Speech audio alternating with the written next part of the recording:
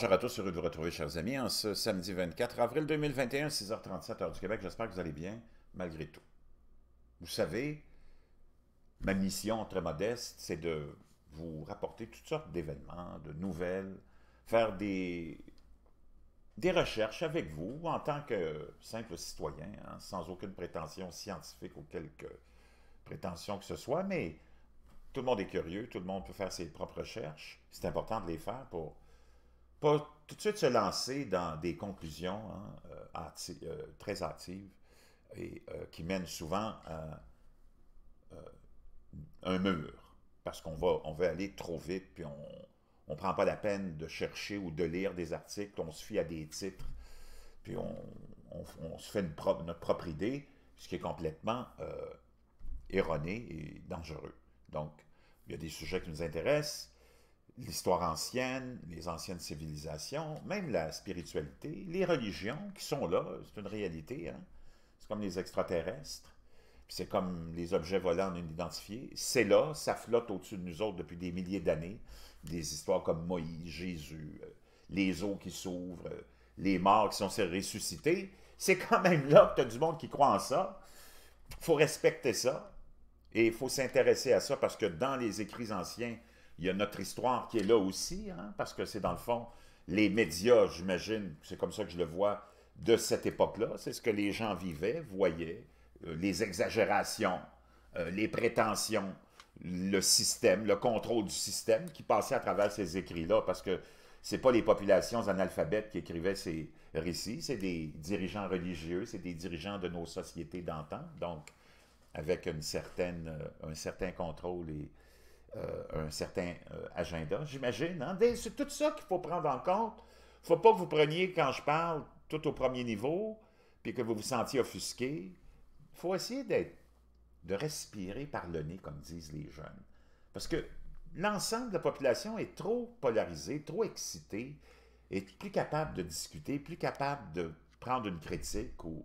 puis ils s'en vont tout de suite. Si tu n'aimes pas, tu te débranches, tu te désabonnes, puis comme un petit bébé gâté, là, là qui est incapable d'affronter euh, des débats ou des discussions. Donc, calmez-vous le pompon, comme diraient les jeunes, calmez-vous le pompon, puis vous allez finir plus intelligent, puis plus renseigné quand tu écoutes les autres, puis ce que les autres ont à dire. Puis si après ça, tu trouves que ça n'a pas de sens, là, tu peux te faire une idée. Mais les gens n'écoutent même pas dès qu'ils voient un titre ou entendent le début d'une phrase qui ne fait pas leur affaire, ils s'en vont comme des, des enfants à qui on a enlevé leurs jouets. Donc, calmez-vous, relaxez, tout va bien aller, Madame la Marquise. OK? Relax.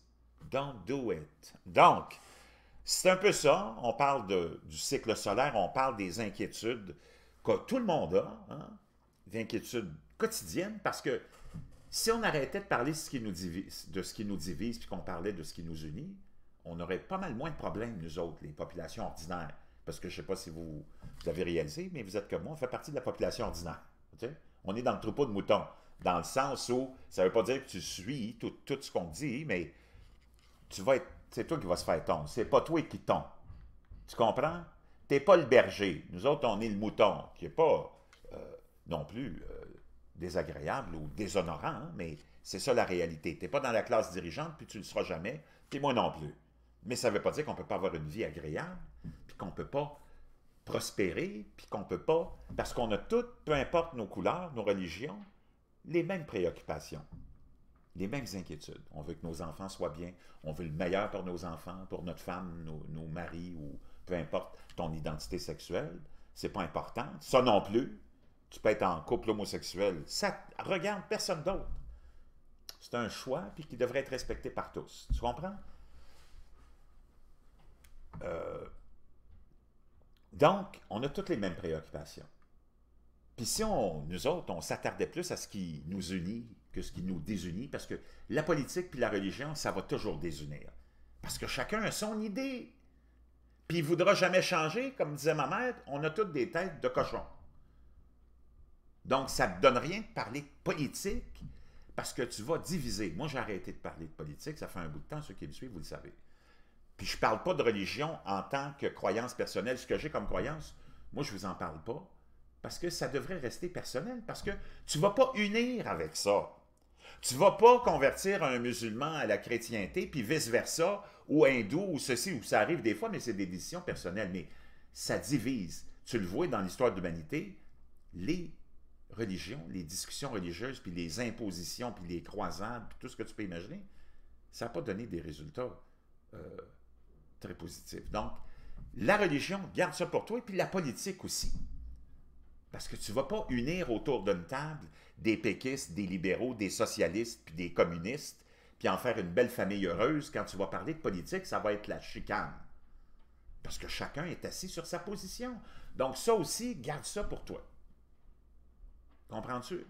Il faut qu'on parle de ce qui nous unit. Parce que ça, la politique, ça va toujours désunir, puis la religion aussi.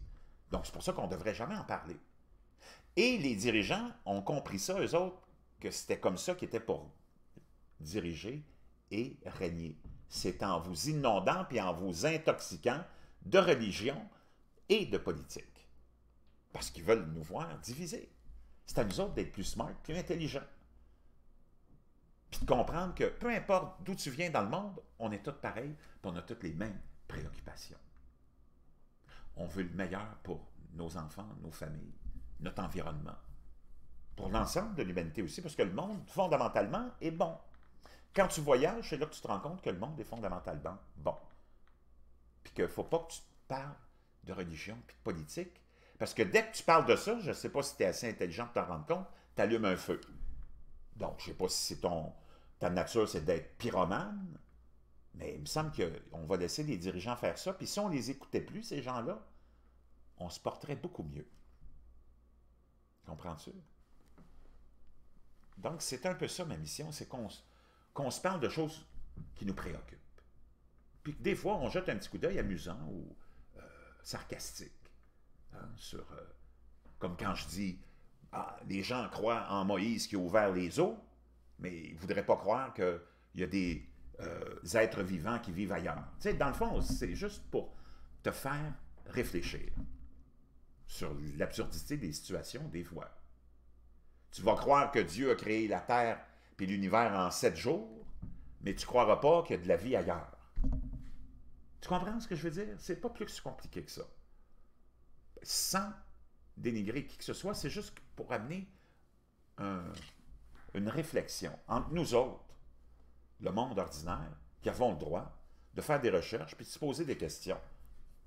Mais il faut que tu ailles faire tes recherches puis il faut que tu mettes les fonds. C'est ça qu'on essaye de faire ici, ensemble. C'est pas plus compliqué que ça. Puis tu peux être de n'importe quelle affiliation politique ou religieuse, ça t'empêche pas d'apprécier ce qu'on fait ensemble. Parce que ça ne changera pas tes croyances que j'essaie de te convaincre qu'il y a une civilisation extraterrestre qui existe, et vice-versa, ou peu importe, où les deux sont possibles. Donc, notre première tâche, puis notre premier devoir, c'est d'être rationnel, puis d'être ouvert, parce que dès que tu es fermé, tu es comme toutes les autres que tu critiques, que tu blâmes. Il faut être ouvert, ouvert à tout. Il faut respecter tout ce qui existe aussi, puis toutes les tendances. Parce que tu ne peux rien faire contre ça. Pas toi qui vas changer le monde. Il y en a des milliards qui sont passés avant nous autres qui ont essayé de changer le monde. Ça n'a rien donné. Puis il y en a qui ont fini dans des très mauvaises positions. Tu as juste à penser à Jésus, qui est un personnage historique, qui n'est pas une invention. Pour certains, c'est le Fils de Dieu, pour d'autres, c'est un grand euh, révolutionnaire. Peu importe, il a fini crucifié parce qu'il voulait changer le monde. Comprends-tu? Donc, si lui n'a pas réussi à changer le monde, je pense pas que moi je change le monde, puis toi tu changes le monde non plus. Donc, ça donne rien de s'attarder à ce que tu peux pas contrôler quand c'est trop gros pour toi.